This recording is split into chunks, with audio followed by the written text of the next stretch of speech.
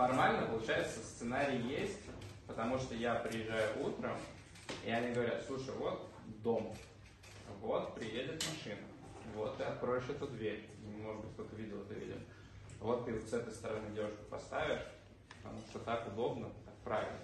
У меня еще капец какой прыщ скачил в первый день на щеке. С другой стороны, А с другой меня всегда снимали слева, да. Вот, поэтому какие-то вещи нужно, видите, менять по сценарию, в зависимости от Ну, моих это регламент, это не Да. Да, поэтому есть регламент. Но абсолютно все решения. Кто останется, с кем пойти на свидание, кто тебе симпатичен, кто тебе не симпатичен, э, принимались мною, да, и получается еще одним мальчиком. Вот, у меня там своя совершенно история была. Как я вначале уже сказал, что я, в принципе, был готов. э, я, я не, не осваивал Мексику, я, я, там, я там не был, я не знаю что. Но я действительно погуглил, прочитал и понимал, что там, чем можно заниматься. Но организационный момент это не моя задача. Я там получал удовольствие, э, влюблялся, узнавал девушек. Ну так случайно получилось, что все свидания оказались ровно такими, как я э, просил. То есть я предлагал, говорю, ребят, вот было бы здорово, вот где-то гипотетически вот так вот сделать.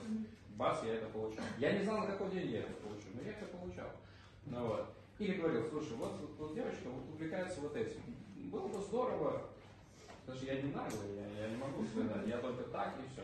Было бы здорово это сделать каким-то случайным образом. Я просыпаюсь и говорю, Саша, у тебя сегодня вот так. Вау!